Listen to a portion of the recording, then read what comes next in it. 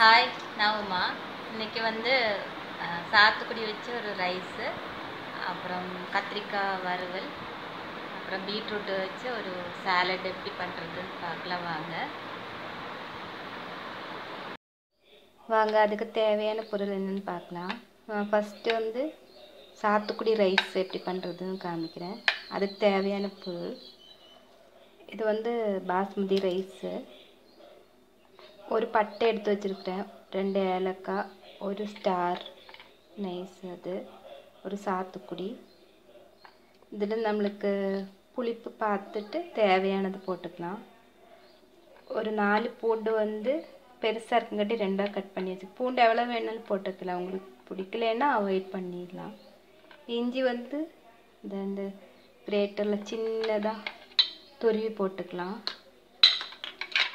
ஒரு ஹாஃப் பெரிய வெங்காயம் நல்லா நைஸாக கட் பண்ணி வச்சுருக்கிறேன். நீள நீளமாக ரவுண்டாக பச்சை மிளகு ரெண்டு கட் பண்ணி வச்சுருக்கிறேன். அப்புறம் இதுக்கு கொஞ்சம் அரை டீஸ்பூன் மஞ்சத்தூள் தேவைப்படுது. இவ்வளோதாங்க இதுக்கு தேவையான பொருள். இது ஈஸியாக பண்ணிடலாம்.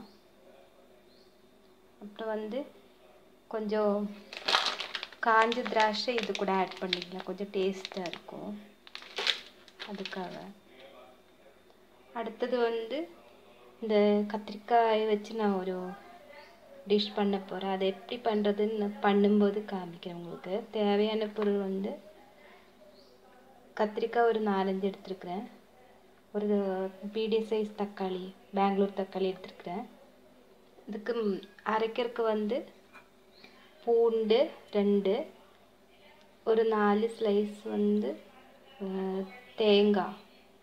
ஒரு அரை ஒரு டீஸ்பூன் ஜீரகம் ஒரு அரை பெரிய வெங்காயம் ஹாஃப் பெரிய வெங்காயம் இதை வந்து மஞ்சத்தூள் தேவையான அளவு மிளகாத்தூள் போட்டு நல்லா நைஸாக க்ரஷ் பண்ணிடலாம் அது போட்டு தான் இது பண்ணுறோம் உங்கள் வீட்டு கருவேப்பிலை மல்லித்தலை எல்லாம் ஆட் பண்ணிக்கலாம் இதில் அப்புறம் இன்னொரு டிஷ் வந்து இந்த பீட்ரூட் வச்சு பண்ணுறேன் பீட்ரூட் வந்து இந்த மாதிரி சின்னதாக கட் பண்ணியிருக்கிறேன் இதே வந்து லைட்டாக வேக வச்சுட்டு இந்த மூஸ் அது என்ன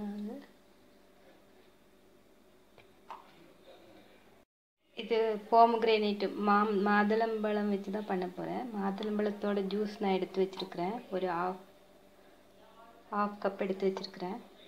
ரெண்டு பச்சை மிளகாய் இதுக்கு கார்னிஷ்க்கு வெள்ளை எள்ளு தான் நல்லா இருக்கும். வேறு எதுவும் போட வேண்டியதில்லை. சும்மா சாலடு மாதிரி தான் பண்ணுறேன் இது.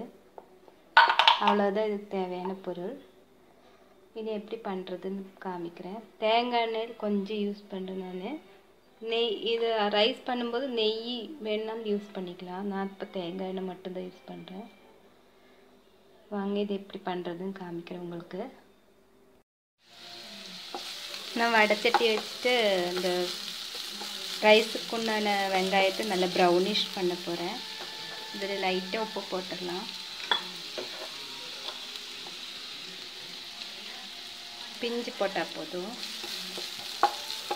நல்ல ப்ரௌனிஷ் ஆகிற வரைக்கும் வணக்கிடலாம். தேங்காய் எண்ணெய் தான் ஊற்றினேன் ஒரு டீஸ்பூனு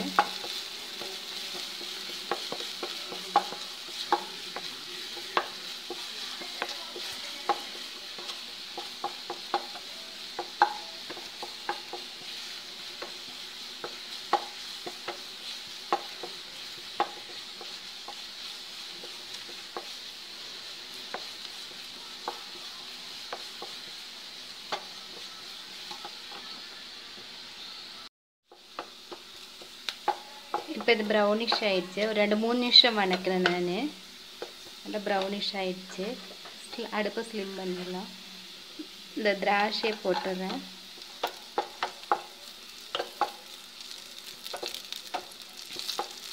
உங்களுக்கு வந்து ரீஃபண்ட் ஆயிலோ நெய்யிலோ வேணுனாலும் இது வணக்கிடலாம் நான் வந்து இப்போ தேங்காய் எண்ணெய் யூஸ் பண்ணுறேன் இது இப்படி போடும்போது கொஞ்சம் ரைஸ் வந்து கலர்ஃபுல்லாக இருக்கும் அதுக்காக அது இப்படி பண்ணுறேன் இப்போ நல்லா கிறிஸ்ப் ஆயிடுச்சு. இதை மாற்றி வச்சிடலாம். நம்ம ஆஃப் பண்ணிட்டு ட்ரான்ஸ்ஃபர் பண்ணிக்கலாம். இது இந்த சூட்டில் இருந்தால் தீஞ்சிடும் அதனால தான் இப்போ இதில் ஆயில் கொஞ்சம் இருக்கு. இன்னும் கொஞ்சமாக ஊற்றிடலாம் ஒரு டீஸ்பூன் ஊற்றிடலாம் போதும். இதில் வந்து இந்த பட்டை ஏலக்காய் ரெண்டு ஏலக்காய் போட்டுக்கிறேன் ஒரு ஸ்டாரு ரெண்டு கிராம்பு போட்டுடலாம்.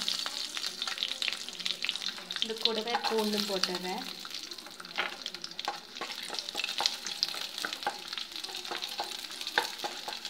பூண்டு கொஞ்சம் நல்லா ப்ரௌன் ஆகட்டும்.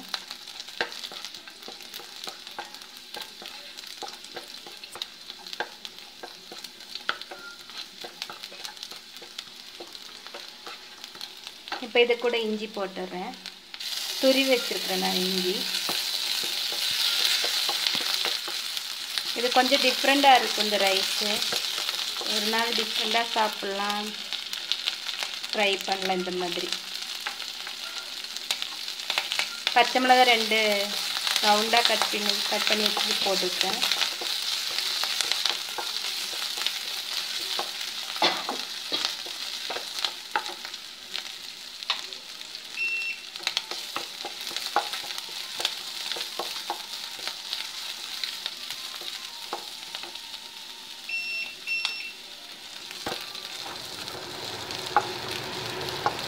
இதோட பச்சை ஸ்மெல்லில் போட்டோம்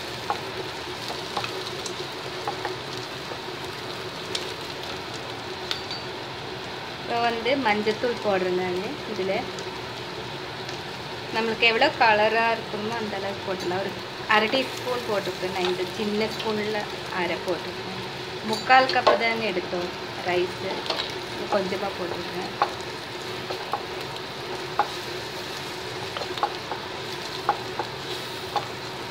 இதில் வந்து தண்ணி ஒரு ஒன்றரை கப் ஊற்றிடலாம் ரைஸ் நான் ஊற வச்சுட்டேன். தண்ணி கொதிக்கட்டும். அது கல் வாஷ் பண்ணிவிட்டு தண்ணி கொதிச்சவங்க போட்டுடலாம். உப்பு போட்டுடலாம் நீங்கள்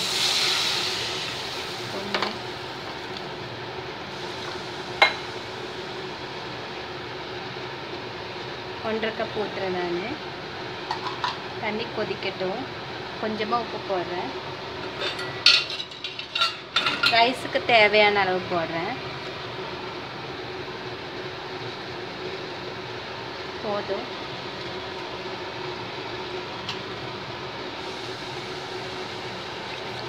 தண்ணி கொதிக்கிட்டு பார்த்துட்டு வேணா போட்டுக்கணும்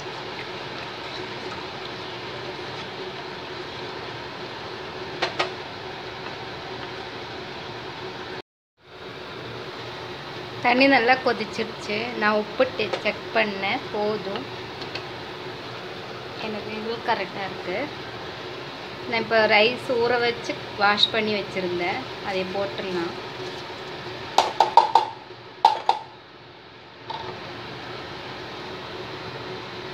ரைஸ் வேகட்டும் நல்லா.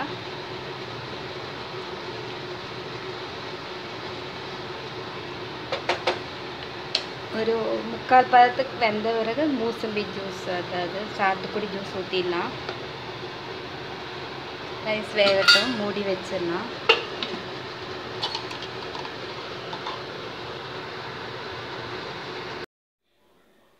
இப்போ வந்து பீட்ரூட்டு சாலடு வந்து ரெடி பண்ணிடலாம் பீட்ரூட்டு நான் வந்து வேக வச்சுருக்கிறேன் நல்லா வெந்துருச்சு கொஞ்சமாக இந்த மாதுளம்பழம் ஜூஸ் ஊற்றி உப்பு போட்டு வேக வச்சேன். இப்போ மீதி இருக்கிற மாதுளம்பழம் ஜூஸு இதில் ஊற்றிடலாம் மிக்ஸ் பண்ணுற பவுலுக்கு இதில் வந்து ரெண்டு பச்சை மிளகா காரத்து இந்த மாதிரி போட்டுக்கோங்க. இந்த சாலடு தான் நான் அவங்கவுங்களுக்கு பிடிச்ச மாதிரி போட்டுக்கலாம். கொஞ்சமாக பெப்பர் தூள் போடுறேன். ஆலிவ் ஆயில் இருந்தால் ஊற்றிடலாம் நான் இப்போ அதுக்கு பதிலாக கொஞ்சமாக ரெண்டு ட்ராப்பு தேங்காய் எண்ணெய் ஊற்றுறேன் இது நல்லா மிக்ஸ் பண்ணிடலாம்.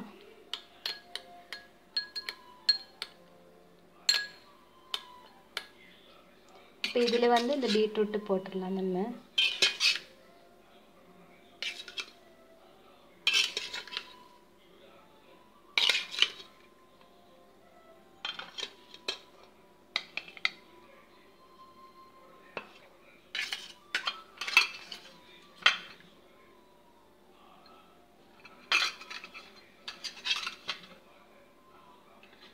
இது ரொம்ப ஹெல்த்தி கூட நம்மளுக்கு. ரொம்ப எண்ணெயும் தேவைப்படாது. டேஸ்ட்டும் இருக்கும். இது ஊற ஊற டேஸ்ட் இருக்கும். கொஞ்சம் கடுகு இருந்தால் நுணுக்கி போட்டுடலாம். நான் இப்போ வெள்ளை எள்ளு வந்து வறுத்து வச்சுருந்தேன். அதை கொஞ்சம் அரை அரை டீஸ்பூன் போடுறேன் டெக்கரேஷனுக்காக சாலட் ரெடி ஆயிடுச்சு.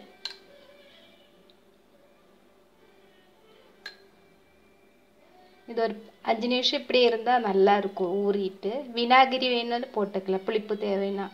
வினாகிரி லெமன் ஜூஸ் எது வேணாலும் இதில் போடலாம்.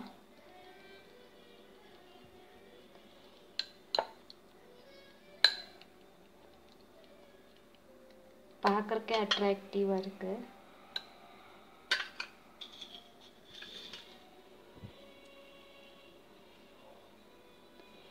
நீங்களும் செஞ்சு பாருங்கள் இதையே. ட்ரை பண்ணுங்கள் தேங்க்ஸ் இப்போ ரைஸ் ரெடி ஆகிடுச்சு முக்கால் பதத்துக்கு வந்துச்சு. நான் வந்து சாத்துக்குடி ஜூஸ் போட போகிறேன் இதில் ஊற்றுறேன்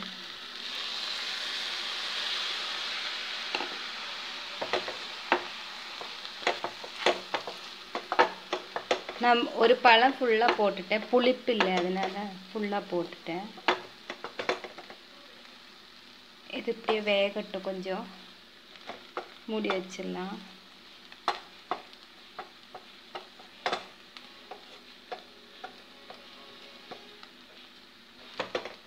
இப்படி அமுத்தி வச்சா உதிரி உதிரியாக வந்துடும் வெந்துடும் நல்லா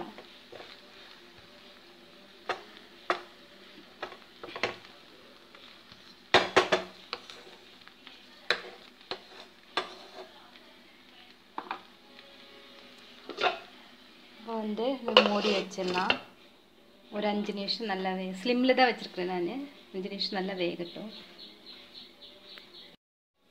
இப்போ இது ரெடி ஆகிடுச்சு நம்ம வந்து பார்க்கலாம் எப்படி வந்திருக்குன்னு பாருங்க உதிரி உதிரியாக வந்திருக்கு அஞ்சு நிமிஷம் வச்சேன் நான் நல்லா வந்திருக்கு இப்போ இதில் வந்து நம்ம ஃப்ரை பண்ணி வச்ச அந்த ஆனியனும் திராட்சை போடலாம். கலர்ஃபுல்லாக இருக்குது பாருங்கள் நல்லா இருக்கு பார்க்கறக்கு குழந்தைங்களுக்கெல்லாம் அது காரம் இல்லாதனால நல்லா சாப்பிடுவாங்க. அவங்களுக்கெல்லாம் செஞ்சு கொடுக்கலாம். நெய்யில் கூட இது வறுத்து கொடுக்கல குழந்தைங்க சாப்பிடும்போது.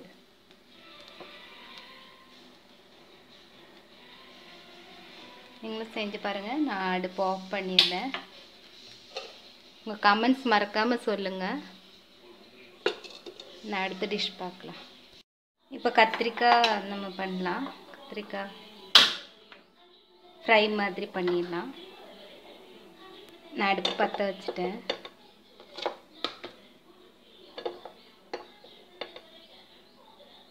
நான் இந்த ரீஃபண்ட் ஆயிலில் தான் பண்ணுறேன்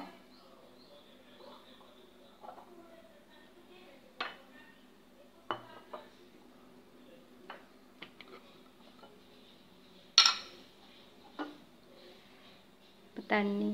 தண்ணி இருக்குதுல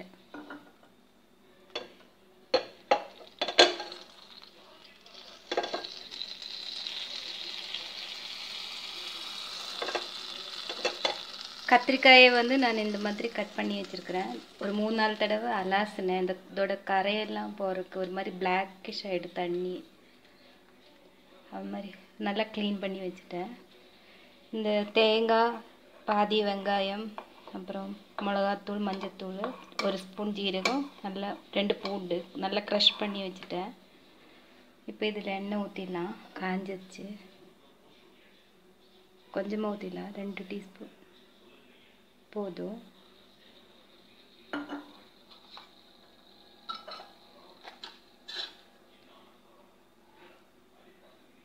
இது நான் ஹாஃப் டீஸ்பூன் கடுகு போடுறேன். கடுகு வெடிக்கட்டும்.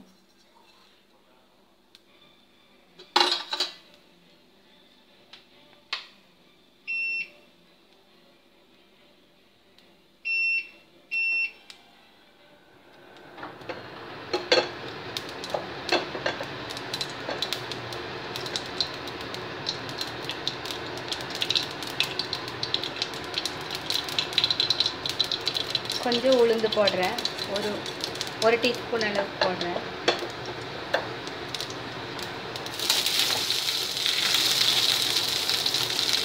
கருவேப்பந்தலை இருந்தால் போடணும்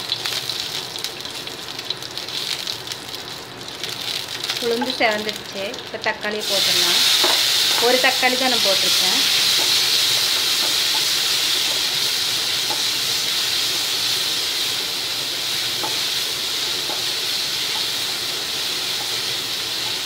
தக்காளி நல்லா உடையட்டும்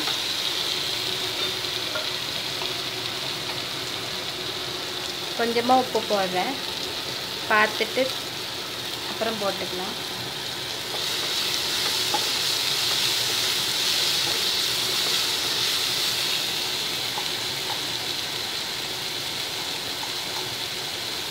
கொஞ்சம் கால் டீஸ்பூன் மஞ்சத்தூள் போடுறேன். இதில் போட்டுருக்கிற அரைக்கும் போது கொஞ்சம் இது தக்காளி நல்லா உடையிறதா போடுறேன்.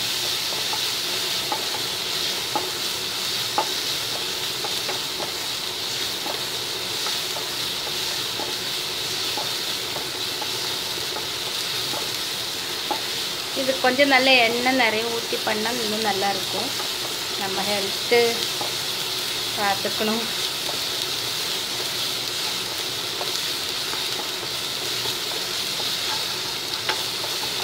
அடுப்பு ஸ்லிம்மில் வச்சிடலாம். தக்காளியெல்லாம் உடைய ஆரம்பிச்சிருச்சு.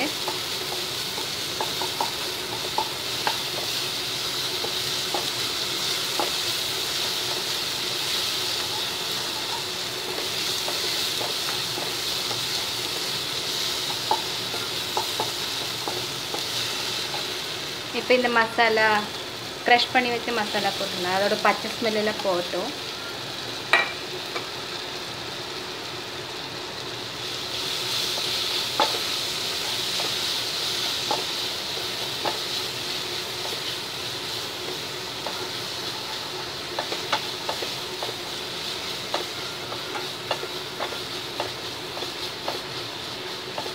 நல்லா பூண்டு ஜீரகத்தோட ஸ்மெல் வருது.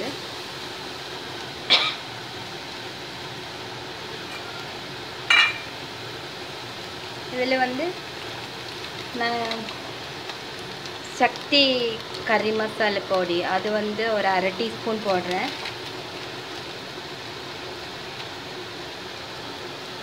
போட்டுடலாம். இதில் காரம் இருக்கும். கொஞ்சம் ஸ்பைசியாக இருந்தால் அந்த சாப்பாட்டுக்கு நல்லா இருக்கும்ட்டு தான் இதை இதே பண்ணுறேன் இப்போ நல்ல மனம் வருது.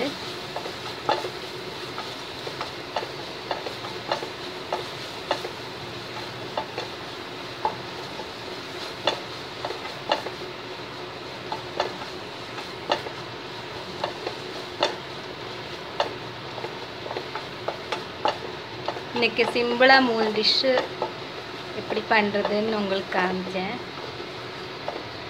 உங்களுக்கு நீங்கள் இது இது வந்து உங்களுக்கு பிடிச்ச மாதிரி கூட ட்ரை பண்ணுங்க.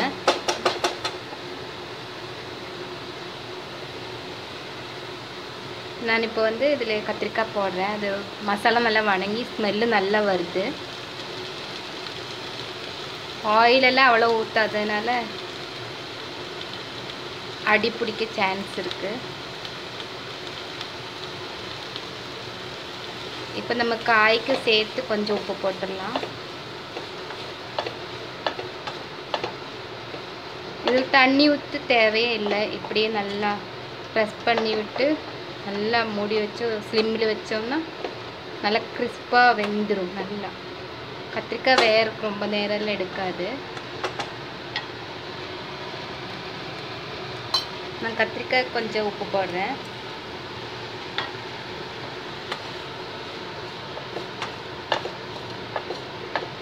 இப்போ இதை மூடி வச்சிடலாம். இதில் மல்லித்தலை இறக்கும்போது போட்டுக்கலாம். கருவேப்பந்தலை போடலாம். தயிர் சாப்பாட்டுக்கெல்லாம் இது நல்லாயிருக்கும்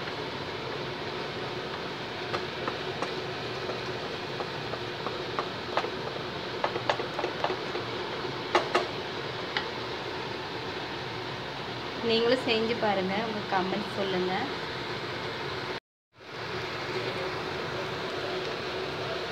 இப்போ இது ரெடி ஆயிடுச்சுங்க. கத்திரிக்காய் நல்லா ஃப்ரை ஆயிடுச்சு. நல்லா வெந்துடுச்சு இது ஒரு அஞ்சாறு நிமிஷம் நான் வேக வச்சுட்டேன். நடுவில் கிளறி விட்டேன்.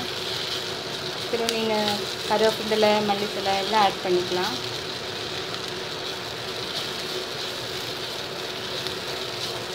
கொஞ்சம் ஸ்பைசியாக இருக்கும். அந்த சாப்பாடு கூட நல்லா சாப்பிட முடியும். இன்னும் கொஞ்சம் நேரம் கூட வைக்கலாம். நான் வந்து டைம் ஆயிடுச்சு அதனால் எடுக்கிறேன். இப்போ அடுப்பு ஆஃப் பண்ணிடலாம். நான் சர்வ் பண்ணிவிட்டு எப்படின்னு காமிக்கிறேன். மறக்காமல் சப்ஸ்கிரைப் பண்ணுங்கள் கமெண்ட் பண்ணுங்கள் லைக் பண்ணுங்கள் இந்த வீடியோ பார்த்ததுக்கு ரொம்ப ரொம்ப தேங்க்ஸ்